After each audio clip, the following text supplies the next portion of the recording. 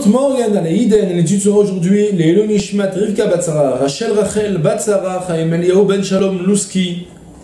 Si vous souhaitez vous aussi déjà une prochaine étude de Mishnah, contactez le 5 minutes éternel, nous étudions Bava Sia Perekret Mishnah Vav.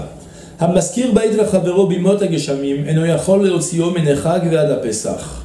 בימות החמה שלושים יום. ובקרקים, אחד ימות החמה ואחד ימות הגשמים, 12 חודש. ובחנויות, אחד עיירות ואחד קרקים, 12 חודש. רבן שמעון בן גמליאל אומר, חנות של נחתומים ושל צבעים, שלוש שנים. On a une Mishnah qui va nous parler des préavis à donner à un locataire pour qu'il quitte la maison et inversement aussi, le Barthénor le précisera plus tard, idem aussi pour le locataire qui veut donner à son propriétaire. Est-ce que je peux quitter du jour au lendemain une maison en location Bien évidemment non, parce que le propriétaire il va avoir une grande perte, euh, il ne va pas trouver immédiatement des locataires. Donc maintenant notre Mishnah va s'intéresser à nous donner les préavis à donner dans plusieurs situations. On va parler dans la première partie de la Mishnah d'une maison, deux cas de figure, dans un petit village ou dans une grande ville. Et deuxième partie de la Mishnah, on va parler des magasins. On commence tout de suite dans la mode de la Mishnah. Amaskir Bait Lachavero, celui qui loue une maison à son ami.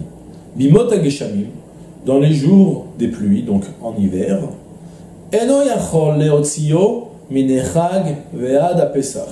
Il ne pourra pas lui demander de quitter cette maison depuis la fête jusqu'à Pessah. Il faut savoir, dans tout le chasse, lorsqu'on dit Chag, un Chag, avec un He Yedia, Chag c'est Sukkot, Atzeret c'est Shavuot, et Pessah c'est Pessah. Donc Minechag, depuis Sukkot jusqu'à Pessah, le propriétaire ne peut pas dire au locataire, ne peut pas imposer au locataire de quitter la maison. On parle bien sûr d'un cas où on a loué la maison sans préciser de date, on a commencé une location, on s'est lancé dedans, on a dit allez d'accord ça marche, on a commencé à louer, ou encore même on a loué avec un contrat mais le contrat s'est fini et on a continué la location, donc avec les mêmes conditions qu'il y avait, et finalement du jour au lendemain le locataire a envie de quitter, ou bien plutôt le propriétaire en l'occurrence, on a d'abord parlé du cas de la Mishnah, le propriétaire demande au locataire de quitter la maison parce qu'il veut la récupérer pour y faire habiter un proche parent, peu importe, et donc il lui demande de quitter la maison. Et alors la Mishnah nous dit, durant toute la période d'hiver, je n'ai pas le droit de le faire sortir.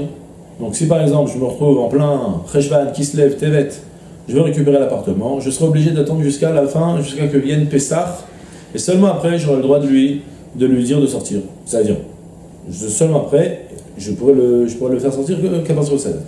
Bimot Achama, par contre, si on est dans les jours d'été, en été, tout ce qui n'est pas depuis Sukkot jusqu'à Pessah, mais plutôt de Pessah jusqu'à Sukkot, donc Shloshim Yom, 30 jours. En l'occurrence, on est en ce moment en été.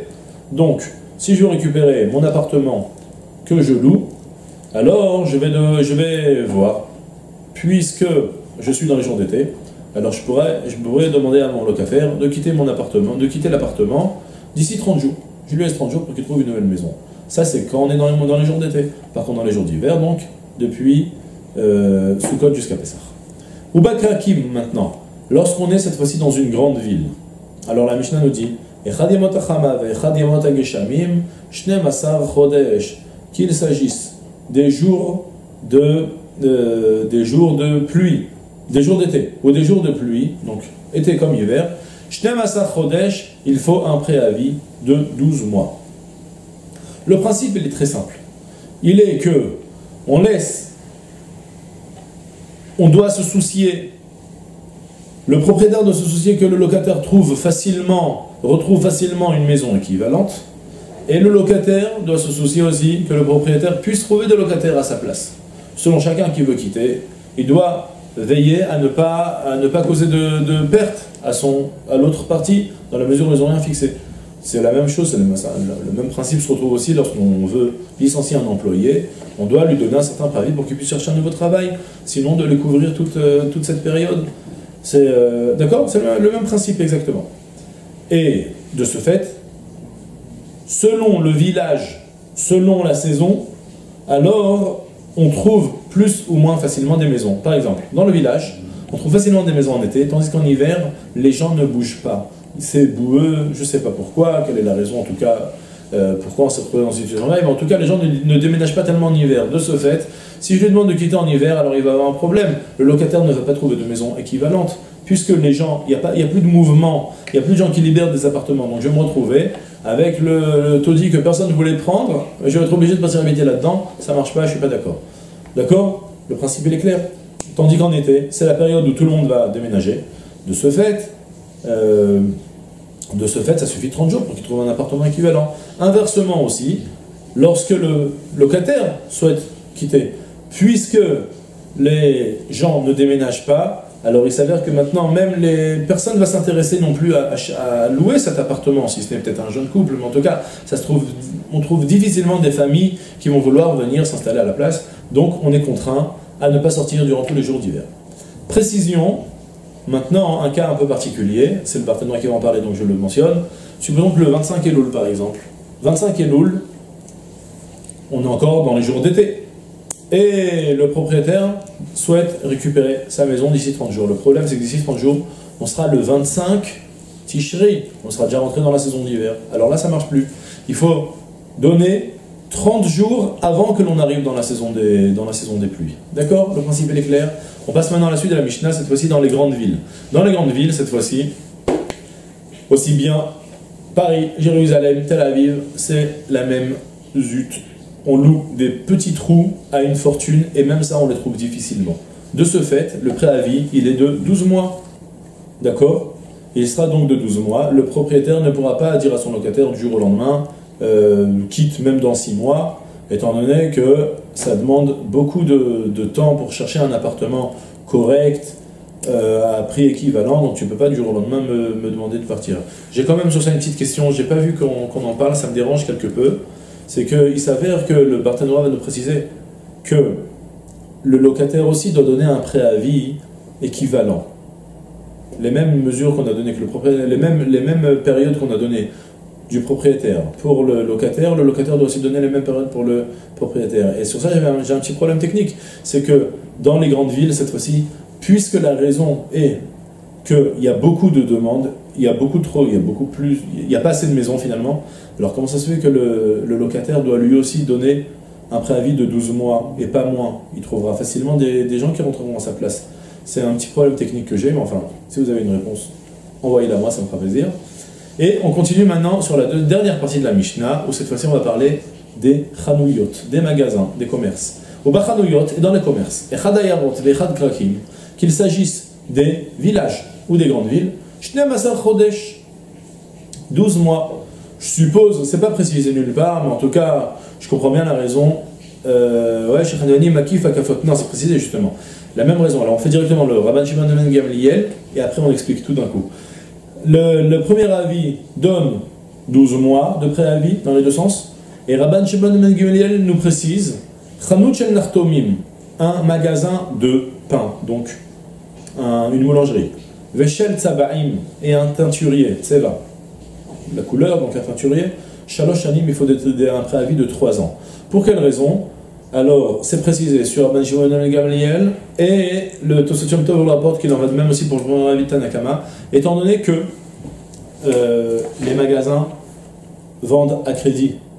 Et de ce fait, les gens qui ont des dettes ne viennent pas forcément les régler, le temps de les prévenir, le temps donc on est obligé de leur donner, selon le premier avis, 12 mois suffisent, et selon Rabban Shimon ben Gamliel, il faut leur laisser 3 ans, le temps qu'ils finissent finalement, que tous ceux qui ont des dettes viennent et les règlent et qu'il assure ses arrières, qu'il ne se retrouve pas planté avec des, d'accord, avec des créanciers qui vont venir, ou plutôt des gens qui lui doivent de l'argent, qui vont venir euh, en retard pour lui, pour lui payer, il sera plus là, ils vont plus le retrouver. Donc, il faut un préavis plus long. La halakha est fixée sur ça comme Rabban Shimon ben Gamliel, et on peut à présent attaquer le Bartanora Bezant Hashem. Amaskir Bait Lachavero Stam. Celui qui loue une maison à son ami, Stam. Ça veut dire quoi Stam? Sans rien préciser de plus. Ils se sont fixés aucune durée. Bien sûr, si je loue mon appartement pour trois mois à un locataire, au bout des trois mois, j'ai le droit de lui dire de partir, quel que soit le lieu, quelle que soit la saison. Là, on parle de quelqu'un qui a loué et on a laissé le, contrat continuer sans, préciser de date de début ni de fin. Et donc, Bimot Agshamim, Pendant la saison des pluies, il ne peut pas le faire sortir depuis Sukkot jusqu'à Pessah, et pendant la saison des pluies, 30 jours. Klomar, c'est-à-dire, Imbal aussi au Kodem à Pessah, si on a, on, vient, on lui demande de sortir donc dans la saison des pluies avant qu'arrive Pessah, il faut lui donner le préavis 30 jours durant les jours de plus, les jours de les jours d'été. C'est-à-dire be'elul depuis le 15 Elul, chez Misham, Shloshim Yom Adechag, Shamim, parce que depuis le 15 Elul, on est exactement 15 jours avant Sukkot. C'est-à-dire, puisque je n'ai pas le droit de, le faire sortir, de lui demander de sortir durant toute la période, pendant toute la saison des pluies. Donc, je dois lui donner un préavis pour qu'il pour qu'il ait 30 jours de saison d'été. De ce fait, passer le 15 Elul, je vais me retrouver, on va déjà mordre dans, la, période d'hiver, donc ça ne marchera plus. J'aurai plus 30 jours, 30 jours de préavis durant la saison d'été, donc je serai obligé d'attendre jusqu'à la fin de Pessah. Et s'il ne lui a pas fait savoir depuis le 15 Elul, il ne pourra plus lui demander de sortir jusqu'à ce que vienne Pessah. Je ne suis pas rentré dans les détails, il y a un problème de lecture, j'essaie de contourner le problème pour ne pas vous confronter, sinon ça va alourdir le cours histoire de mieux comprendre comment chaque mot de la Mishnah rentre. Il y a, un vrai problème technique, c'est pour ça que le partenariat allonge tellement à, à slalomer entre les problèmes. Mais en tout cas, le partenariat continue à nous dire de là on déduit donc Sham Inan, Maskir Stam Bimot que celui qui loue une maison euh, pendant les jours d'été, il devra lui donner un préavis de 30 jours. D'accord? On a bien expliqué. Ceux qui veulent plus approfondir verront qu'il y a un problème technique que on réussit finalement. On s'arrête là.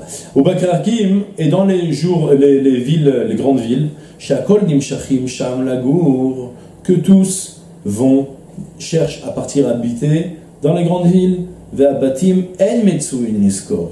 Et les maisons ne sont pas fréquentes pour les louer. On trouve difficilement des maisons. Il faudra les faire savoir 12 mois avant qu'ils quittent, lui donner un préavis de 12 mois. Ben bimot ou ben bimot. Qu'il s'agisse des jours de la saison des pluies ou de la saison de l'été. Ou keshem, maintenant c'est la phrase importante dans le Batanor aussi. Ou keshem shamaskir. Autant que le propriétaire doit donner son préavis, faire savoir, car socher lodia. Idem aussi, le locataire qui désire quitter la maison doit lui aussi faire savoir combien. Ou bayarot shloshim yom dans les villages, 30 jours donc pour l'été, au Bakrakim, Masar Chodesh, dans les grandes villes, 12 mois. Et important, c'est important à savoir ça aussi. S'il ne lui a pas fait savoir, il n'a pas donné le préavis, et qu'il souhaite quand même quitter la maison, il n'a pas le droit de quitter, en tout cas sans payer. Il a le droit, bien sûr, s'il veut, de payer, jusqu'à la fin de la saison et quitter. Précision importante, ça rapporté cette fois-ci dans la Lacha, et ça se trouve, ça rapporté ici par le Tiferet Israël. Le locataire aura toujours la possibilité de partir chercher un autre, euh, un autre locataire qui acceptera de louer avec ses propres conditions. C'est-à-dire, si j'ai une famille avec deux enfants, alors je pourrais partir chercher moi-même, donc moi je suis le locataire, je souhaite finalement quitter la maison plus tôt. La Mishnah me dit, le partenaire rapporte, je n'ai pas le droit de quitter le propriétaire. Je suis obligé de rester avec lui jusqu'à la fin de l'hiver.